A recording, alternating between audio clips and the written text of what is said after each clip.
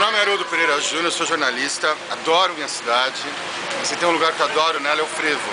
O Frevo é essa lanchonete aqui, é uma lanchonete dos anos 50 e ela tem uma decoração que evoca o frevo, com os bonecos pendurados e tal. E essa decoração, essa ambientação até hoje está aqui que eu acho que é muito legal também, porque evoca essa coisa do migrante nordestino, enfim, da tradição, papapá.